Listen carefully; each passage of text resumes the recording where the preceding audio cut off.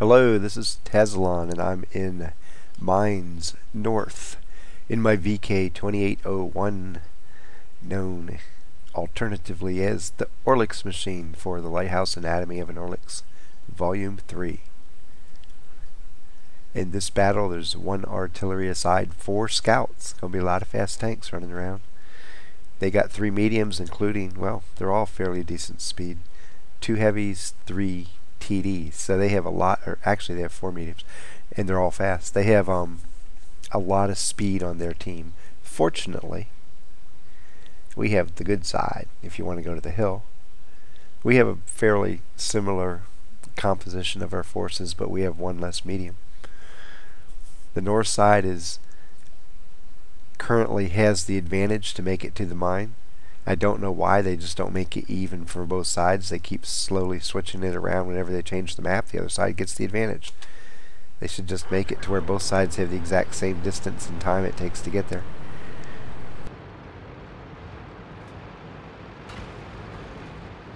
Well, that didn't help. But it's actually cool. It's good to be second going in. You go in first, and if there's anybody coming, they all shoot you. Going in second, they waste their shots on the first guy and hopefully you get a free shot back. And here comes RU-251. I'll poop, shoot him, keep going. Oh, don't come over this way. 1390's coming up. I don't think he's loaded yet. I don't know if he can even fire. I don't know what he's doing up here. I'm going to turn around and go back and pop him again. Get a kill. Bam. I do have one artillery. So got to be careful if you try to snipe around the corner there. That already, a lot of times, if you set up over on this side of the map, can shoot you. So I'm gonna come over here see if I can catch him shooting.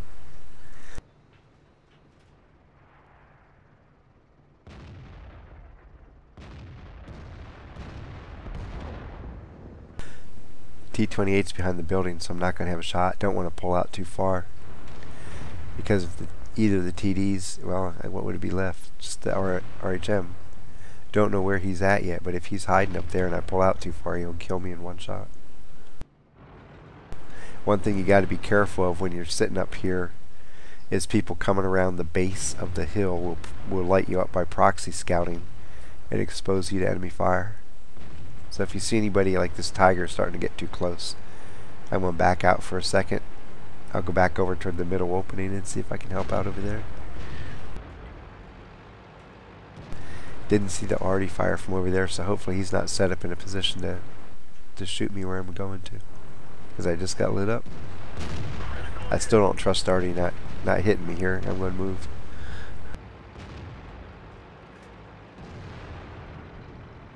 T28 is almost dead. I'm going to see if, well, I wonder if he's going to be poking around the building there where I can get a shot.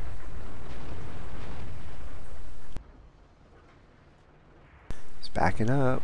Yes. Go bam.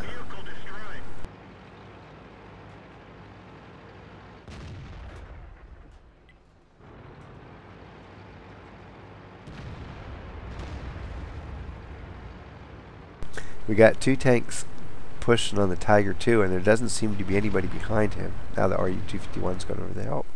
Get the Patton, he's gone.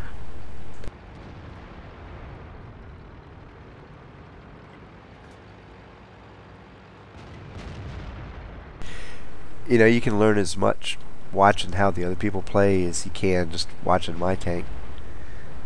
I've already popped out of there at least once and the Patton knows I have a flanking shot on him when he pulls up behind that rock it's a really terrible place for him to go to.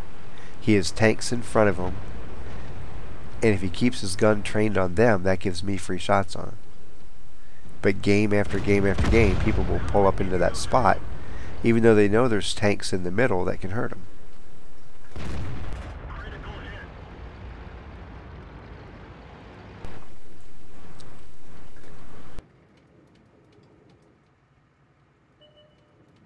Ooh, there's the T50. E, E50, I mean. He popped out of there and took a shot at me. He got the better of that deal.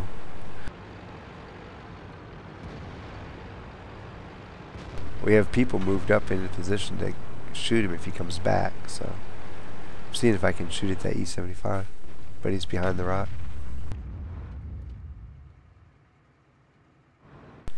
Looks like the RU-251's headed this way too. So.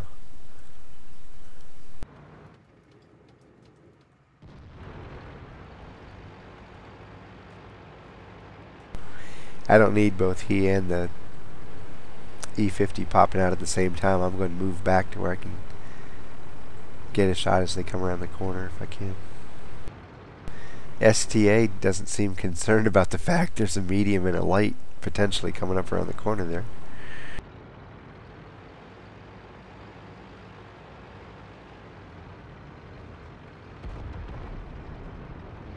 T-49's moving around to get in position, so that's good. I'm going to shoot at this guy. Bam, take in front of him. High angle, I knew it wasn't going to get a big damage, but the idea is just to pop him on the nose and get him back up. Now he's dead. RU-251 still down there?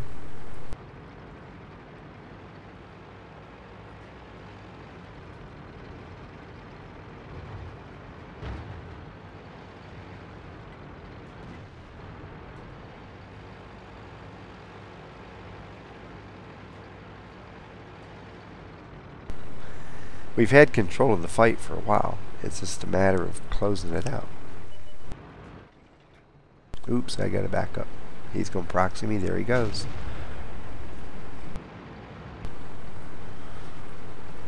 And depending on where their TDs and other tanks are, right now I'm, I'm apparently safe because the RHM hasn't fired a shot up that way yet. Here comes the RU-251. But if there's somebody in position to shoot and they do that, you end up dying because of it. And pull out, take this guy.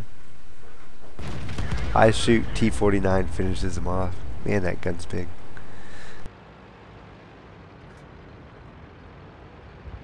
Looks like a flying saucer with a gun sticking out of it.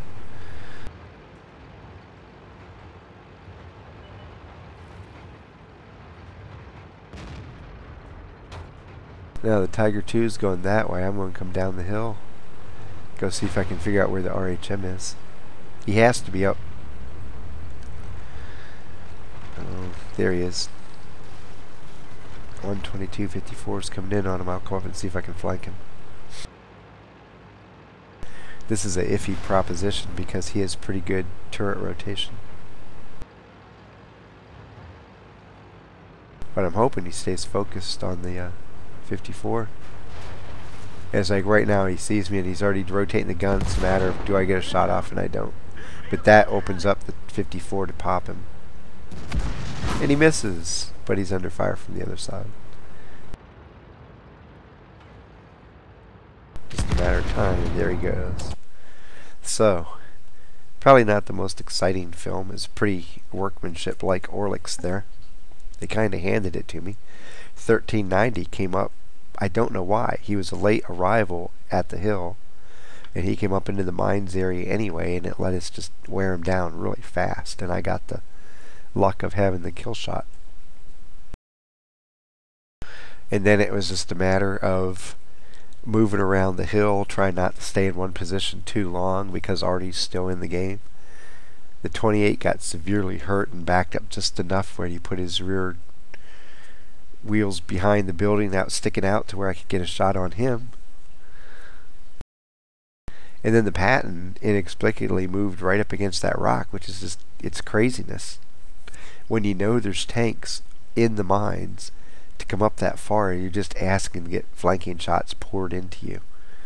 And so I got an easy Orlik's just because of the way the enemy wasn't paying attention to where they were. Hard to get an easier one than that. And we go on and win the fight 15 to 7 I was trying to help out in the RHM and I could tell in the last like two seconds as I went in I saw him rotating his turret. It's like oh well I'm dead. I'm going to at least try to get a shot off but he beat me to it so. I still ended up 1629 experience three spots 935 spotting damage with three kills 1164 damage and the Orlik's.